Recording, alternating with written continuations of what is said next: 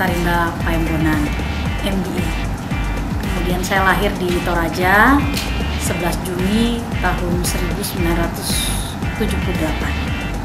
Kemudian saat ini tinggal di Jalan Bibis, RT 8, nomor 6, Kelurahan Kanaan, Kecamatan Bontang Barat, Kota Bontang. Saya punya satu suami, dua anak. Suami saya Bapak Henry Pailan Tandi saya yang pertama seorang perempuan, Aisyah Syaini Tandi Payung. Saat ini sudah kelas 5 SD, lahir tahun 2005. Kemudian anak saya yang kedua, Marcelo Timothy Tandi Payung. Saat ini sudah kelas 4 SD. Kemudian agama saya Kristen Protestan. Riwayat sekolah saya dulu SD saya tahun 1984 tamat 1990 di SD Patra Dharma Pertamina di Sangatta, Jawa Timur. Kemudian saya melanjutkan SMP ke sekolah yang sama, SMP Patra Dharma Pertamina di Sangatta, Jawa Timur tahun 93 sampai 1996. Tahun 96-nya saya dipaksa dalam tanda petik harus berani uh, keluar dari zona nyaman oleh orang tua saya pergi merantau. Merantaunya nggak cari kerja tapi cari ilmu ke dulu namanya Ujung Pandang sekarang Makassar. Jadi ke Makassar tahun 1993 sekolah di SMA Negeri 1 Makassar SMA Negeri 1 Ujung Pandang. Jadi dari tahun 93 masuk SMA 1 sampai 96 lulus dari SMA Negeri 1 saya tes perguruan tinggi waktu itu waktu zaman dulu namanya masih UMPTN ujian masuk perguruan tinggi negeri. Nah pada saat itu puji Tuhan lulus di pilihan pertama saya masuk fakultas kedokteran. Fakultas kedokteran Universitas Hasanuddin Ujung Pandang sekarang namanya Makassar. Kenapa masuk kedokteran? Karena ngikut kakak saya. Jadi kebetulan saya lima bersaudara ayah saya namanya Pak PM Paembonan ibu saya namanya Yohana Rembon. Ayah saya seorang guru SD di sekolah Pertamina dulu di Sangatta Kota Timur. Ibu saya seorang ibu rumah tangga biasa. Saya lima bersaudara. Kebetulan saya anak terakhir. Jadi dua orang kakak saya di atas saya kakak saya yang nomor dua dan kakak saya yang nomor tiga kedua-duanya laki-laki. Kebetulan juga sudah lebih dahulu masuk di Fakultas Kedokteran Unhas. Jadi kakak saya yang nomor satu itu angkatan tahun 90 Dr. Octavianus sekarang beliau spesialis kebidanan di Rumah Sakit Umum Daerah Sangatta, Kota Timur.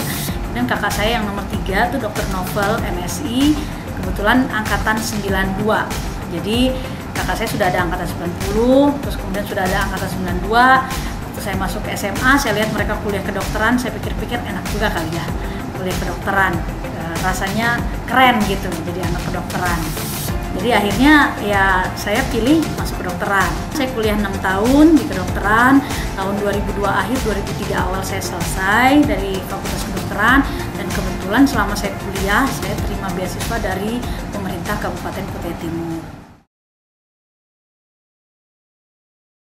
Sebenarnya kalau mau ngikutin jiwa Indiana Jones saya saya pengennya pada saat itu ke Aceh, ke Ambon yang lagi konflik kayak gitu ya, ke Papua.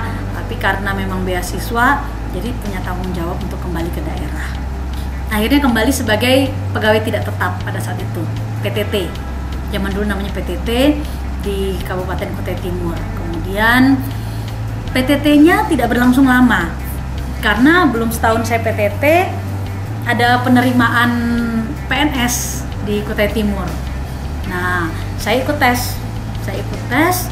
Puji Tuhan, satu kali tes lulus gitu. Padahal ada temen, karena pada saat itu kan kalau tes dokter-dokter tuh satu ruangan sendiri. Kita dites ada, kalau nggak salah pada saat itu ada empat bulan lebih. Ada yang udah tiga kali tes gitu, nggak lulus lulus. Saya puji Tuhan sekali, ya anggap aja itu good luck lah ya, good luck. Kemudian satu kali tes lulus gitu, karena lulus kemudian jadi CPNS pada saat itu di Kutai Timur. Jadilah uh, CPNS kedokteran, uh, dokter pada saat itu langsung dapat golongan 3B karena profesi. Waktu berjalan 2004 saya menikah, kemudian uh, suami saya Pak Henry pada saat itu di Bontang, jadi saya masih pisah-pisah, sayanya di uh, Kutai Timur, kemudian Pak Henry di Bontang. Tahun 2005 saya mulai mulai nih mulai pindah ke Bontang gitu. Karena anak saya yang pertama Yesa sudah lahir jadi rasanya kalau hidup sendiri menderita juga gitu miserable banget kayaknya hidup saya gitu kalau harus sendiri terus. Jadi nah kurun waktu itu saya menjadi orang yang paling sering bermigrasi ya. Jadi pindah dari rumah sakit satu pelayanan kesehatan satu ke tempat yang lain. Jadi mulai dari rumah sakit umum daerah kota Bontang Nah, saya pernah jadi direktur Rumah Sakit Ibu dan Anak Meloy di Sangatta, lalu kemudian pernah jadi dokter dan pimpinan puskesmas di Teluk Pandan, kemudian pernah jadi dokter di Rumah Sakit Amalia Bontang, pernah jadi dokter di Rumah Sakit LNG Badak. Jadi muter-muter uh, apa rumah sakitnya. Akhirnya dengan pemikiran yang matang, dengan pertimbangan yang cukup berat sebenarnya tahun 2010 saya memutuskan untuk mundur dari pegawai negeri alasannya sederhana I want to be the real mom jadi sederhana saja alasannya saya ingin jadi ibu yang sesungguhnya. Saya nggak mau anak saya nanti panggil saya tante terus dia panggil babysitter saya uh, mama gitu ya uh, ibu. Karena saya tidak punya waktu yang cukup. Akhirnya 2010 saya mundur dari pegawai negeri tidak lagi menjalankan profesi dokter sebagai pegawai negeri lalu kemudian berprofesi sebagai ibu rumah tangga murni.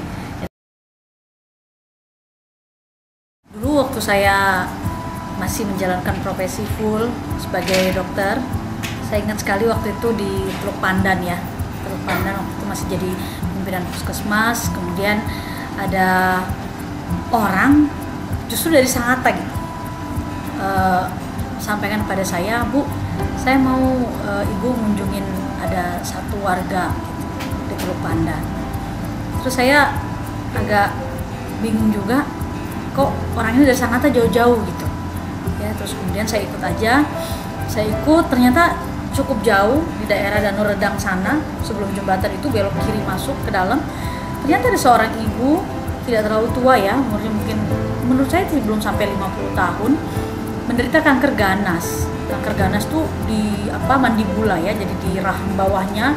Dan saya ketika saya lihat ini udah late stage gitu. Jadi udah udah apa namanya stadium akhir gitu yang bikin saya terharu sekali waktu ketemu ibu itu saya ingat ibu itu dengan kondisi kayak begitu itu masih metik kopi gitu. Jadi dia ada tanam kopi di, di sekitaran rumahnya ada juga coklat sedikit. Karena menurut saya untuk mengangkat wajah saja kan susah ya dengan kondisi begitu. Sudah ada boroknya kemudian di daerah bawah sini sudah ada semacam ulkus tuh luka ya luka lubang yang besar itu. Dan bicara masih masih cukup bagus begitu masih cukup bagus. Dan saya melihat uh, orang yang luar biasa ya orang yang luar biasa. Saya sangat sangat terharu pada saat itu sangat termotivasi karena menurut saya seorang diri kemudian sakit keras tapi masih mau kerja. Dan yang datang meminta bantuan itu bukan dia tapi orang lain. Kita kan kadang-kadang masih punya kemampuan masih kuat tapi sudah suka minta-minta tolong gitu. Tapi ibunya luar biasa. Saya pikir bukan dia yang datang gitu. Tapi orang yang lihat terenyuh kemudian manggil orang lain lagi. Akhirnya saya panggil teman-teman dari dinas kesehatan pada saat itu kita kunjungi rame-rame. Kalau saya tidak salah ingat pada saat itu sempat dibawa ke Samarinda walaupun akhirnya harus meninggal dunia gitu ya. Jadi uh, pelajaran yang paling penting sih menurut saya pada hari itu adalah bagaimana kemudian kita value hidup kita kita menilai hidup kita sendiri how strong we are gitu sekuat apa kita gitu ya. Nggak boleh jadi orang manja hidup ini kan sulit ya dunia ke depannya juga kompetisi makin sulit. Saya pikir orang perempuan yang sederhana pendidikannya saya tidak sempat tanya tapi saya yakin pasti tidak tinggi tinggi banget ya. Mungkin hanya sampai SMP paling tinggi lah SMA melihat usianya sendiri wanita sakit keras kanker stadium lanjut tapi kemudian masih mau kerja gitu. Jadi menurut saya luar biasa dan uh, semangat itu mudah-mudahan bisa tertular sama saya bisa tertular sama kita semua yang tahu tentang bagaimana artinya berjuang hidup gitu. Ya selama kita masih bisa kita nggak minta bantuan orang. Itu menurut saya. Itu pengalaman pengalaman uh, uh, apa ya kisah-kisah yang haru dan menyedihkan. Karena memang kalau di dunia medis yang haru dan menyedihkan itu banyak ya. Pertama kali bertemu pasien dengan HIV AIDS pasien yang kemudian dikucilkan di masyarakat itu juga punya cerita banyak gitu buat saya. Jadi ya itu 2013 karena Pak Henry di uh, diperintahkan dalam tanda petik diperintahkan oleh partai untuk mencalonkan diri menjadi anggota DPRD di tingkat provinsi sehingga di dapil Bontang Barat kita kosong. Nah karena kosong iseng-iseng Pak Henry nawarin mau nggak jadi caleg di Bontang Barat. Saya pikir-pikir ngapain lagi jadi caleg gitu ya kayak kurang pekerjaan gitu pekerjaan rumah aja jadi jadi housewife tuh nggak habis-habis gitu. Tapi ini berdoa, pikir-pikir, saya pikir dulu saya pengen jadi dokter karena pengen tolong banyak orang kalau jadi anggota DPR mudah-mudahan bisa juga tolong banyak orang lewat kebijakan-kebijakan yang kita buat. Akhirnya setelah berdoa setelah merenungkan kurang lebih enam bulan saya putuskan oke kita maju jadi caleg uh, di Bintang Barat. Pada saat itu tentu saja partainya ikut partai suami partai Gerindra pada saat itu gerakan Indonesia Raya punyanya Pak Prabowo waktu berjalan sosialisasi satu tahun lebih saya ingat 14 bulan kurang lebih saya sosialisasi karena ini orang baru nih anak baru. Belajarnya mesti banyak panasnya kan kalau mesin uh, mesti ya startingnya lama gitu ya endrainnya lama. Akhirnya puji Tuhan waktu pilkada April 2014 kita suara terbanyak di wah itu sebenarnya lebih daripada apa yang pernah saya doakan yang pernah saya impikan yang pernah saya hitung di atas kertas menurut saya luar biasa. Bontang Barat itu kan dapil neraka ya. Jadi di antara semua dapil yang ada di kota Bontang selatan dan utara barat tuh paling sedikit. Jadi kalau di klasmen bola itu ya uh, apa namanya partai neraka lah. Di di apa namanya klasmen neraka lah di Bontang Barat itu. Karena waktu itu kan yang ikut pemilihan kan 12 partai kalau di Bontang Utara 11 kursi ya ada tinggal satu partai lah yang nangis. Misalnya kalau dibagi satu-satu gitu. Selatan juga gitu ada 10 tinggal dua lah. Tapi kalau barat ada empat. Jadi yang nangis delapan yang yang ketawa empat gitu. Lebih banyak yang nangis. Jadi menurut saya itu tantangan. Ya ya saya senang yang sulit-sulit sih gitu. Ya kan? Kalau yang gampang-gampang menurut saya proudnya juga kurang gitu. Kebanggaannya juga kurang kemudian dorongannya untuk berusaha juga kurang jadi nggak apa-apa lah dikasih yang sulit gitu. Kebetulan juga memang rumah saya di, di Bontang Barat. Pak Henry juga dulu dapilnya Bontang Barat jadi sedikit banyak saya kalau untuk Medan Medan Bontang Barat mudah-mudahan kenal lah gitu. jadi akhirnya jadi anggota DPR kemudian oleh partai dipercaya menjadi wakil ketua. Sangat bersyukur sekali. Lalu kemudian waktu berjalan sampai dengan hari ini. Jadi uh, hidup saya itu sebenarnya mantul-mantul ya mantul-mantul. Jadi mulai dari jadi dokter kemudian jadi pengangguran eh jadi ibu rumah tangga. Maaf karena ibu rumah tangga itu menurut saya pekerjaan yang paling sulit. Ya jadi jadi dokter terus jadi ibu rumah tangga. Kemudian setelah itu jadi sempat jadi bantu suami usaha. Karena itu kemudian saya S2-nya MBA gitu. Master of Business Administration. 2 tahun saya dari 2012 sampai 2014 setiap hari Kamis saya ke Jakarta hari Minggu saya pulang. Jadi luar biasa. Teman-teman saya satu kampus bingung gitu. Ini ada orang gila dari hutan ya tiap minggu rela bolak-balik ke Jakarta hanya untuk belajar bisnis gitu. Tapi uh, ya this is me gitu. Saya orangnya begitu. Kalau saya mau belajar saya harus belajar sungguh-sungguh. Dan kalau cari sekolah saya cari sekolah yang paling sulit. Jadi waktu itu saya browsing sekolah bisnis yang ada di Indonesia. Saya pikir yang paling sulit yang mana ya? Jadi saya putuskan IPMIN yang paling sulit karena apa? Sekolah bisnis terus kemudian yang kedua fully English. Gitu. jadi IPMI International Business School itu satu ini sekolah magister ilmu bisnis yang fully English. Jadi kita di kelas belajarnya bahasa Inggris ngobrolnya bahasa Inggris dosennya semua materinya bahasa Inggris ngerjain tugas bahasa Inggris ujiannya juga bahasa Inggris.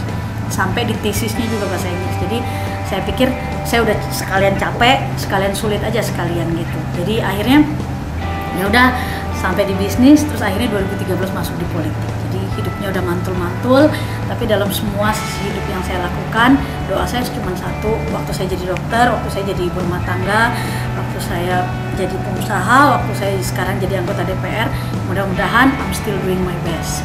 Saya tetap lakukan yang terbaik saya belajar terus eh, kekurangannya masih banyak salah-salahnya juga masih sering tapi mudah-mudahan dengan niat belajar yang sungguh-sungguh improve makin bisa berbuat yang terbaik, makin bisa memperbaiki diri, makin jadi master, kemudian yang lebih penting makin bisa bermanfaat bagi banyak orang. Ya, jadi kalau mau cerita hmm, apa sih yang memotivasi saya kemudian yang jadi uh, apa ya jadi jadi bottom line saya untuk berpolitik uh, ada satu statement yang bagus bilang begini kalau orang baik ya tidak melakukan apa-apa maka orang jahatlah yang akan bertindak. Dan sebenarnya di dunia ini bukan populasi orang jahat yang bertambah banyak. Justru yang lebih besar persentasenya itu orang baik yang memilih untuk diam. Nah itu statement yang cukup menggugah saya. Jadi sebenarnya kalau kita merasa kita ini orang baik kita mau berbuat sesuatu yang baik kita bisa beri sesuatu yang baik, kita bisa sharing, bisa bagi kepada orang lain sesuatu yang baik, harusnya kita jadi orang yang bersuara. Ya, tidak tinggal diam, tidak cari zona nyaman, tidak jadi katak dalam tempurung, gitu ya. Jadi politisi menurut saya suka dukanya banyak, ya. Malah menurut saya satu tahun pertama di DPR lebih banyak kena tinju rasanya gitu daripada punya kesempatan untuk uh, ninju balik gitu ya tapi menurut saya babak belur mendapat kesempatan untuk ditinju itu membuat kita akhirnya belajar banyak. Oh ternyata ini jurusnya begini ini di sana jurusnya begitu. Preparing ourselves juga siapin diri kita untuk kemudian mulai menyiapkan uh, strategi dan beberapa langkah untuk kemudian menyerang balik gitu ya itu dengan niat yang baik begitu. Jadi saya percaya bahwa kalau orang baik memutuskan untuk bersuara orang baik memutuskan untuk berdiri, untuk stand up, untuk berdiri buat orang lain, kemudian memilih untuk tidak diam. Saya yakin kok populasi yang jahat, populasi hal-hal yang tidak baik dunia ini sangat-sangat bisa kita tekan. Nah, karena itu menurut saya politisi itu kan tidak harus selalu menjadi hal yang negatif ya. Walaupun sampai hari ini pun kalau orang bicara politik menurut saya siaran yang udah paling gak laku tuh siaran politik lah diskusi yang paling mudah nggak laku itu diskusi politik lah yang laris sekarang kayaknya kriminal gitu ya kan jadi orang udah enek gitu bicara politik udah enek. Bahkan kalau zaman dulu orang bangga gitu kalau memperkenalkan diri. Saya uh, Ibu Eta wakil ketua DPR kalau sekarang kayaknya mau bilang pekerjaannya sebagai anggota DPR itu berat gitu keluar dari mulut. Karena apa? Karena berpikir begitu kita ngomong begitu tuh stigmanya orang jelek gitu ya. Uh, Mother Teresa bilang begini kalau saja uh, politisi itu menyediakan waktu lebih banyak untuk bertelut dan berdoa, untuk lebih banyak merenung dan berbagi kasih, pasti politisi-politisi itu jadi politisi-politisi yang cemerlang. Jadi ya saya ingin menghimbau kepada perempuan-perempuan Indonesia, perempuan-perempuan yang ada di Bontang, anak-anak muda untuk kemudian ya kita ini mau doing something nggak sih karena wacana-wacana aja nggak cukup gitu loh berdiri-berdiri di pinggir jalan demonstrasi oke okay, gitu. Tapi you don't change anything gitu. Kamu nggak mengubah apa-apa gitu.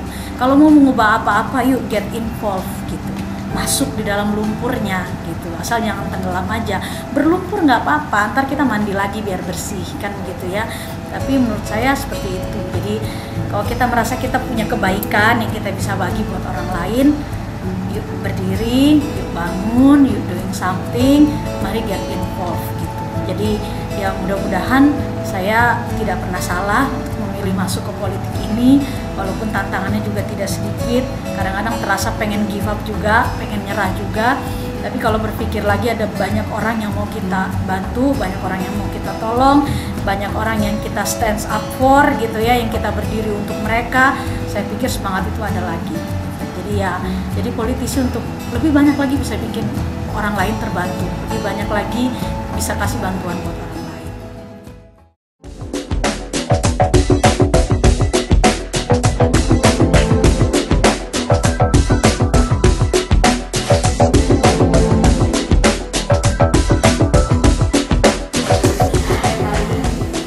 Sosok bunda itu baik, uh, penyayang, kalau misalnya aku punya bakat pasti dikembangin. Nggak dilarang-larang apa aja. Misalnya nyanyi ya. Kalau mau ikut nyanyi ya ikut nyanyi aja dikembangin. Nggak pernah ngelarang pokoknya harus ikut ini. Ikut harus ikut bunda nggak? Uh, bunda itu sih tegas terus penyayang. Suka larang-larang sih tapi ya yang larangannya tuh benar. Bunda itu sih pintar. Terus apa lagi ya bunda tuh kadang-kadang suka marah-marah gitu. Tuh kalau misalnya aku buat salah sih